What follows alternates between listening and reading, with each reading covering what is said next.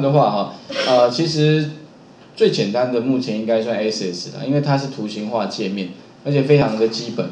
所以资料库里面，如果你要学习的话，你可以先从 SS 开始吧。哦，那如果说学到哪一种程度呢？其实哈也不用学太多啦，因为目前 SS 最多的就是放资料会比较多，那顶多是查询。所以哈，如果你要多学一点呢，我建议各位哈，因为我这边有贴一个叫补充资料库相关知识。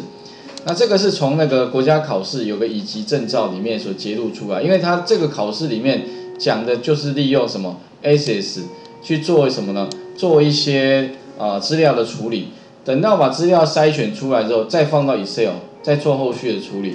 好，所以这个我想就跟我们一般实际上工作上面会面临到的问题其实还蛮像的。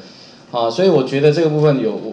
就是还蛮值得补充的。那这里的的话，我建议就是你没事的话，可以把它当成是，呃，资料库相关素养的一个，我想就是一个补充吧，哈。因为如果你对资料库资料库知道的比较少的同学，好，你可以稍微看一下。其实就是讲有点类似像这样的这个东西，如果你有玩过 SS，应该不陌生。反正就是我今天要找某个资料，然后我就把好几个 table 放进来，然后他就把我的资料。啊，里面还可以下一些条件，比如说他年龄，就比如说我现在找一个内部哈，有一个研发经理，那这个研发经理，我希望他是在三十岁到四十岁之间，而且在公司的年资要三年以上，而且是要在研发单位研研研发单位待过，那其实就是下一个条件嘛，对哈？那下完条件之后，当然你就会产生一个结果，啊，就直接可以把它怎么样放到 Excel 来用。OK，啊，如果这个部分的应用哦，假设你不太熟的话了，我建议你可以多多了解，因为一般工作上哦，只要大量的资料，通常还是会放在资料库里面处理。那资料库里面有个很很好用的功能，就是查询，也就是说可以帮你筛选出来你要的东西啊。它有点像是 Excel 里面的枢纽分析啦，啊，不过以枢纽分析有它的瓶颈，有它的限制，它不像说 SS 它。这么的快速，主要如果只是针对啊资料来看的话，当然 SS 有它的强强强的地方。另外，它可以跨好几个什么呢？跨好几个那个资料表去做查询。好，啊，如果你对这部分不熟悉，我建议了哈，你就是可以多了解一下啊，因为这个东西对应到的就是一个国家考试的以及软体应用的那个证照。啊，当然你要不要考试，那当然自己如果。有需要的话，可以大家有取得哈，条件会更好。OK，啊，相关的东西我会补充在这里。另外的话呢，影片哦，其实大家可能比较比较喜欢看影片啊，没事的话你把影片看过一下啊，虽然有点枯燥，但是哈，哎，至少让你增加你资料库相关的素养。好像还有一些讲义里面也有了，我发现有可以可能各位找一下那个档案需要的东西哈，我有把它放在一个一个地方哈。OK。那我们来看一下，就是说刚刚的东西哈，如果我希望能够在这边增加一个什么，增加一个按钮，哎，可能我们阶段性的好了，比如说我今天，当然这个按钮一样哈，长一样，所以把它按 Ctrl 键，然后复制一下，啊，里面的这个名称，这个叫 B one 嘛哈，这个叫 B two 啊，这个叫什么？就叫 B 三好了哈。假设我今天多一个按钮 B 三，OK，啊，这个 B 三按钮呢，它的就是一个叫新增好了，啊，我们阶段性哦我讲过了，我们不要那么急着说一下子就要新增全部，我们是新增，那新增就新增最下面那一笔到 SS 去，如果成功的话，再来等一下就是什么，再拉一个，叫做新增什么，新增全部，啊，也许就是全部，再把那个全部的资料哈，再全部新增到那个那个 SS，那这边自己再补一个，这个叫 B 四。OK 哈，那就是说我等一下会有这个，当我按下它的时候，它帮我把那个最下面那一笔资料帮我写到 SS 里面去，OK 哈，所以应该了解这个逻辑吧。好，第一个，第二个就是说，哎，那可是我现在 SS 还没产生啊，那我要怎么样用一个方式，用什么方式最快产生 SS？首先的话哈，我建议各位这样子，请你把这个资料先 Ctrl C 一下。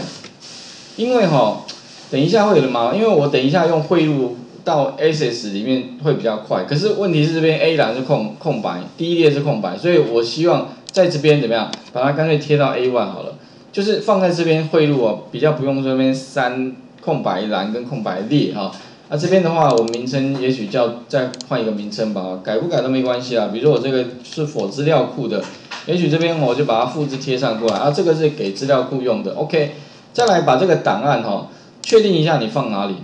呃，我把它放桌面上好了哈，干脆直接放桌面上比较好找。OK，呃，这边他说 V 这边按否哈，不要按是。记得哈，这边把它存成什么？启用具体活页簿哈，这边就按储存。那把这个档案呢，第一个先产生一个资料库，然后呢，我把它贴到，等于是说没有空白栏跟空白列了哈。第二个的话呢，哈，就是在呃这边各位找到城市里面呢，在那个 Office 里面会有个 SS，那我们就是怎么样产生一个 SS。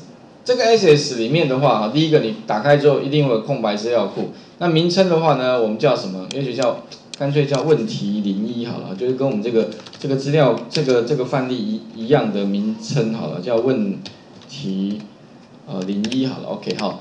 然后呢，放哪里呢？放找一下，记得哦，也把它放桌面上，干脆放一起好了哦，这样的话比较好找。按建立，按确定，最后的话呢，按一个建立。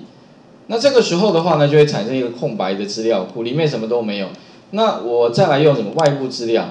如果说我今天哈要把 Excel 变成 Access 的话，最简单的方式啦，捷径啊，其实这也是很多人想要知道。很多人还要在那边设定啊，建立一个空白的资料表，然后再把它呃复制贴上，不用啦，你就最简单的方法哈，其实直接怎么样？先建立一个空白、完全空白的资料库。再到什么呢？外部资料里面找到 Excel，你就去找到那个刚刚的 Excel 档案，它就可以直接自动帮你汇进来。浏览一下有没有？找到桌面上嘛，对不对哈？再来就是找到这个问题零一，刚刚我就另存，我把它放在桌面上比较好找。但如果你在随身点，就去随身里面找就对了哈。OK 好，特别注意要建一个新的那个资料库之后，利用这边哈来汇入。进来，这样就 OK 了。那其他当然哦，以后哈同理可证啊。以后如果说你有什么文字档，你要汇入的话，也可以啦。或者是什么 XML 档也可以啦哈。甚至像其他比较常用的，像 CSV 哈，应该也可以用这个方，CSV 也可以直接汇入。或者是这边有一张 ODBC 有没有？其实 ODBC 意思就是说，如果你今天哦是 SQL Server、Oracle 或者其他的那种资料库的话。你可以在 ODBC 里面设定好什么账号密码了哈，然后再选它，找到那个 ODBC 你设定好的那个连线，也可以从别的资料库汇入到 SS 里面，没有问题啊。OK，这边的话，那因为我们今天的档案是在 Excel，所以你就直接选 Excel，按开启，开启之后按确定之后的话哈，它会给我们选项，请问一下你的资料是放在哪一个工作表或范围啊？有没有？那因为我刚刚是额外新增一个工作表，叫做资料库，所以我就选它。记得不要选错了啊！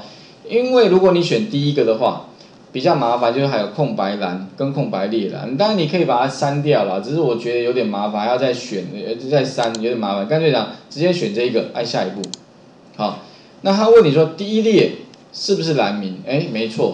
所以哈。以后的话，你那个如果用汇入啊，你确定一下哦，你那个第一列有没有给它栏名？如果有栏名哦，这个我觉得方便一点，就是说你可以不用重新再输入这些栏栏位的名称的，直接从什么 Excel 里面汇入就好了哦。按下一步，然后这些要不要改？其实如果不改的话哈，通通就 OK 了。其实一般这个大概用文字没有问题啊。这个的话哈，如果说哈特别注意哦，如果你这边没有小数点的话。一般会把它改成什么？如果没有小数点，会用长整数，好；如果有小数点，就用双精准数。好，OK，特别注意哦。这个差异性就是在那个什么，在就是有没有小数点啊？所以哈，如果像身高，你确定不要有小数点的话，其实你可以把它改成长整数。那你会想说，老师，那为什么不用整数？为什么要长整数？啊，这很简单，整数的话哈。它最大可以到，我印象中是一百多万啊。好啊，如果二零零三只能到三万多，超过就放不下了。OK，那你整长整数就没有这个问题，长整数可以到呃十十几亿的样子，可能新版到几兆都可能了。那基本上应该不会超过了哈。那你会想说，那这个，哎，那为什么干啊？所以哈，就干脆放比较大了。然后为什么缺点？就是可能会多浪费个一点点的空间，大概是几几 K 吧，哈，或者是几个 byte 吧，几 K 跟几那有什么关系？好像没什么关系。硬碟大到已经是几 G 嘎的空间了哈。啊，另外一样的道理就是说，如果你有小数点，请你用双精准数。那你会想说，老师，那为什么你不用单精准数？啊，道理一样嘛，反正哈没有放不下的问题。所以如果你那个数是非常非常大的话，那建议了哈，可能会比较大的话，当然你用双精准数会比较保险一些些。OK，啊，其他的话，如果是文字那就文字啊哈。OK，那这边的话按下一步，下一步之后的话，要不要主索引？不要主索引哦，因为资料不多了，我们不要主索引哦，不然的话，这个主索引它自动会帮我增加一个编号。如果你需要一个编号，自动产生一个编号的话，那你就帮它加一个主索引，按下一步，好。那最后的话呢，汇入进来之后，它就会帮我把那个名称叫做资料库。那名称好像叫这个好像有点怪，嗯，不太好。我换一个名称好了，叫也叫问题零一好了，反正就是一样的名称啊，问题零一。OK 好，在问题零一的资料库里面有一个问题零一的资料表，好按完成。那这个时候的话呢，把它关闭起来，你会发现这边就会有个问题零一的资料表，打开来看一下这个资料哈。基本上呢，就是会跟什么？刚刚我们在这个 Excel 里面看到的资料会是一模一样的，它就会帮我把这一个工作表的这一个哈范围呢，帮我汇入到这边来。OK，好，汇入一笔的，对不对？那假如说我将来哈，哎，我希望呢，在这边产生一笔新的，那这个新的是从哪边来呢？就是 Excel，刚刚不是我们填一笔对对？那填完之后，我是放在 Excel，可是我今天我要练习哈，哎，新增一笔也顺便帮我新增一笔到 SS，那如果可以的话，后面就没有问题，就是全部再新增过来就不会问题。那怎么做沟通？哈，OK，这个是第一个了哈。那未来当然还有衍生性的问题，说这个 SS 资料库哈，现在是放在桌面上，可是以后如果要共用的话，恐怕你要考虑到一点，就是说可能这个档案将来会放在网方里面。可能内部网络有没有？哎，大家可以网方上面共享，才有办法去把 Excel 的资料写到 SS 哈。所以这个部分如何从网方去存取这个资料库哈？这个我想等一下也会跟各位做个说明好了。那请各位呢先试试看呢，把这个问题零一的资料库建一个问题零一的资料表。好，那等一下我们再练习哈，怎么样哈？再把那个。呃，一笔资料帮我们写过来哈，OK，这里的话哈，请各位先试试看哦。